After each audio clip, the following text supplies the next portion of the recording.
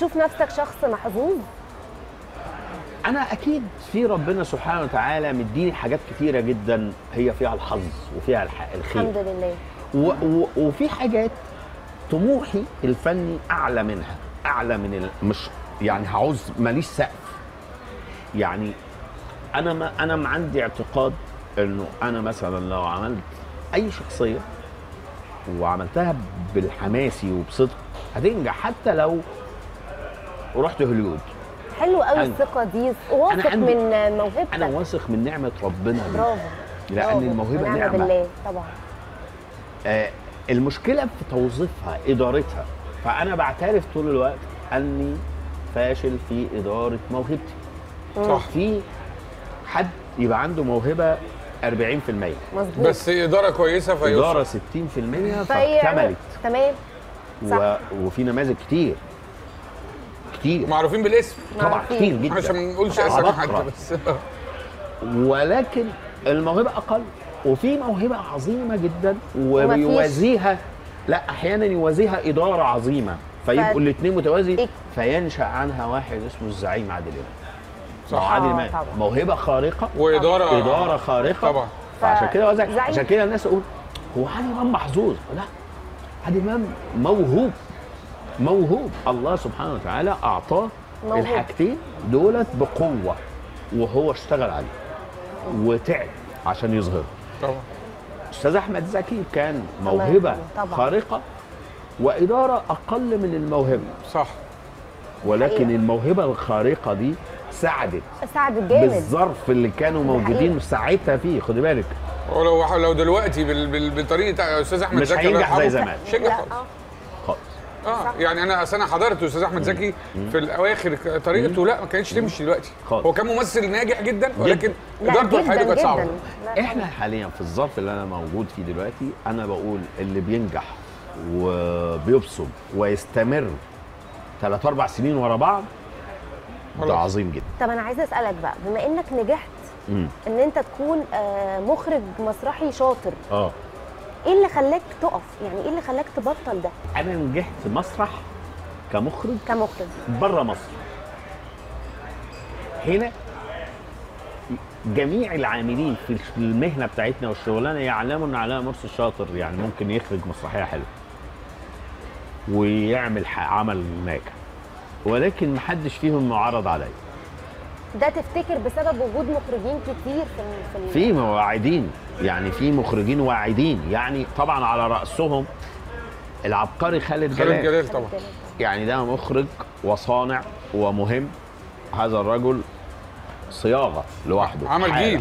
طلع جيل من, من مركز الإبداع. عنده فكر وعنده إدارة شاطرة. مخه ما شاء الله الله يبارك له يعني شاطر. شاطر. وعندنا أشرف عباقي صانع بيعرف يصنع توليفة. دي حقيقة. ليه ما فكرتش تعمل زي أشرف؟ أنا عملت اللي أفظع من أشرف بقى ولكن ما عرفتش أكمل. تعبت. إيه بقى؟ أنا في يوم كده صحيت من النوم قلت أنا هاخد كاميرا صغيرة كده وهنزل هلف محافظات مصر كلها. فاكر الفترة دي صح؟ آه أدور على موهوبين في الشارع. إيه ده؟ فجمعت 7000 بني آدم. 7000 بني آدم دول عملت لهم اختبارات ومراحل وخدت استعنت بلجنة مكونة من رجال مسرح زي الأستاذ هشام جمعة المخرج المسرحي طبعاً. والله يرحمه الأستاذ ماهر سليم ذلك المخرج والفنان القدير ودكتور عمر أبو القاسم المنتج آه، ال- السينمائي صاحب شركة إنتاج قديمة شوية مم. وعملت لجنة وبدأت أنزل محافظات ولفيت 13 محافظة جمعت 6000 أو ما أكتر يعني وصلت ل 7000 بني آدم ما بين موهوبين في التمثيل والشعر والكتابة والإخراج والمكياج والديكور والسواقة والنقاشة والكهرباء والحداده ده حاجات لازم بره كده. والبحث. العلمي والأفكار العلمية الاختراعات العلمية ياه كونت هذا المشروع وفجأة قلت إيه اللي أنا عملته في نفسي ده ده, ده مشروع ضخم جدا أنا مش قده آه مش مش بتاع فرد. صرفت عليه فلوس وكونته وورش تدريب وعملت 50 عرض مسرحي في المحافظات دي. وبعدين بدأت عملت عرض كبير جدا في وكالة الغوري آه اسمه وحياتك يا مصر. أوبريت هم اشتركوا فيه الشعراء اللي في الفرقة دي والمطربين. طلع 250 مطرب على المسرح يغنوا. 250 لا ده 250. رقم وطلعوا عملوا عرض عظيم جدا. طب انت إيه الموقف اللي مش هتنساه في ال- في ال- السفريات دي؟ أكيد. حصلت مواقف يعني. هو أهم موقف إن أنا اتثبت. فين؟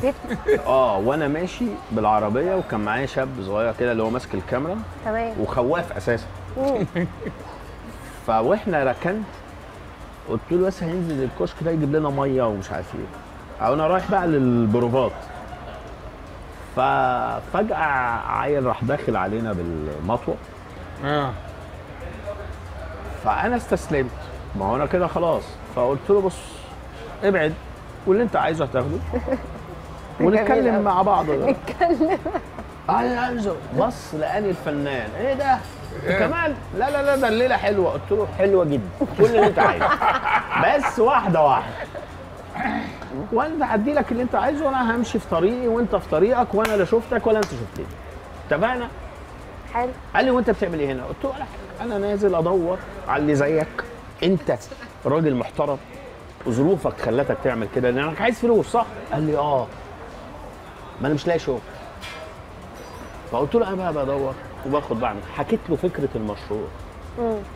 وهو بدأ يروح معايا وقال لي ده أنا بكتب أغاني.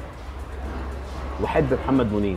قلت له بس بكرة عندك ميعاد مع محمد منير. طب أسألك على حاجة. أنت كنت قاصد لا أنت كنت قاصد تاخده في الحتة دي ولا هو- بس هو أنا له. ربنا اللي خلاني أقول.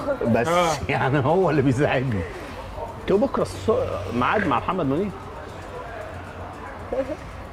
فقال لي بجد قلت له آه بجد. تيجي معايا تحضر معايا البروفات أنا رايح دلوقتي وعندي شعراء وعندي أنت بتكتب اغاني قال لي جاي معايا هذا الشاب. من سرقة وتثبيت ل- اللي ماشي معاك في طريق وجا وحضر البروفات وسرق كل موبايلات العيال. آه والله كلهم.